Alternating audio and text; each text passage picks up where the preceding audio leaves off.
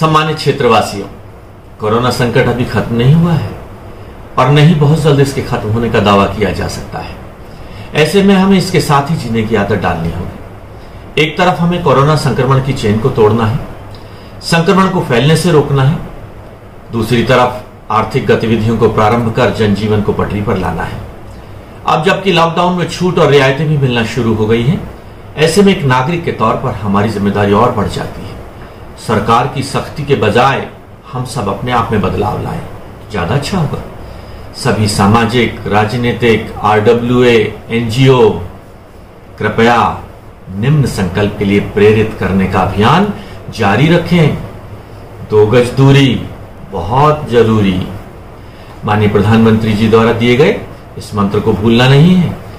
Social distancing ही corona संक्रमण से बचाव का एकमात्र रास्ता है। मास्क घर से बाहर निकलते समय मास्क का प्रयोग ज़रूर करें। एन नाइन्टी फाइव या अन्य मास्क की दौड़ में ना दौड़ें। कोई भी घर में बना हुआ साधारण मास्क या थ्री प्लाई मास्क का इस्तेमाल करें। अपने हाथों को बार बार साबुन से धोना है। अगर आप फ़ील्ड वर्क में हैं तो आप एक सैनिटाइजर भी साथ रख सकते हैं। चेहरा आईने में देखने के लिए है। हाथ से ना छुएँ।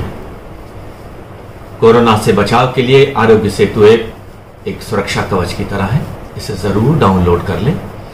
जैसा कि प्रधानमंत्री जी ने कहा कि जान भी और जहान भी और आत्मनिर्भर भारत का निर्माण भी। तो हमें अपना बचाव करते हुए, अपने समाज का बचाव करते हुए, अपने काम धंधों पर लौटना है, जिससे देश को आर्थिक मजबूती भी दी जा सके। नमस्ते। हमारे YouTube चैनल को सब्सक्राइब करें और हाँ बेल आइकॉन दबाना न भूलें।